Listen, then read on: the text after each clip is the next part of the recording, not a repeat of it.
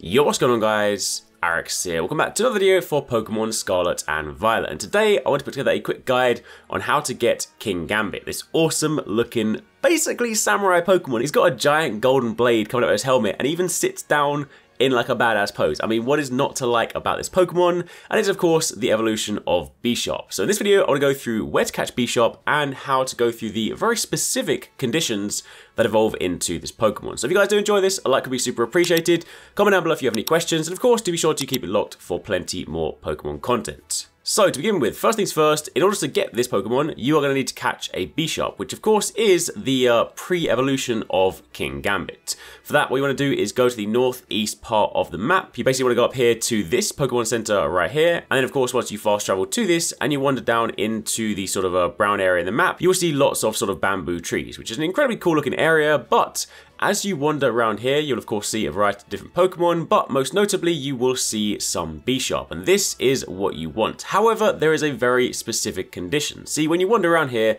sometimes you'll see a Bisharp wandering around on its own. However, that is not the one we are looking for. Occasionally, you will see a Bisharp surrounded by a collection of Pawniards, and this is very important because this is the Bisharp that you need to encounter and you need to catch. The reason for that is because when you encounter one of these ones and you catch it, if you go and check the summary, it'll actually be carrying an item called the Leader's Crest. It says a shard of what appears to be an old blade of some sort. It is held only by Bisharp that head up a group of Pawniards. So if you go and catch a regular Bisharp, it will not carry this item. So again, you need to go around this area and find one that is surrounded by a little group of Pawniard and then encounter that one. Make sure you run into the Bisharp, not the Pawniard.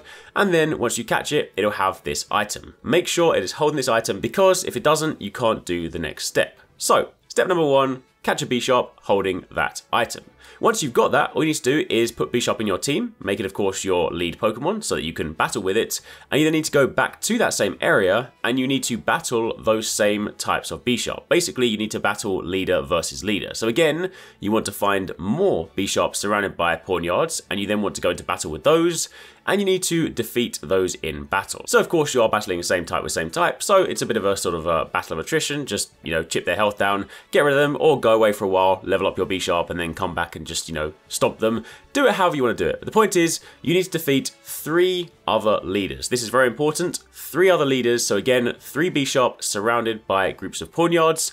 Once you've done that, once you've successfully defeated three of them, the next time you level up, you will evolve into Kingambit. So of course you can consume a rare candy, some XP stuff, or you can just play until you organically level up. But once you have defeated three other leaders, i.e. three other Bisharp holding the leader crest, and you then evolve, you will get Kingambit. an incredibly awesome Pokemon, definitely a uh, fixed member of my team now. It is without question a nice addition to my team. I do really like this Pokemon, both from just the way it looks, but also just a type is pretty cool.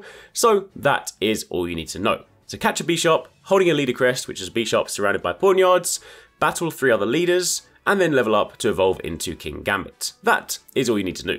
Hope you guys found that helpful. Any more questions, by all means let me know in the comments down below. And of course, do be sure to keep it locked for plenty more Pokemon Scarlet and Violet. If you missed some of the recent videos, you can check out one of these ones on screen.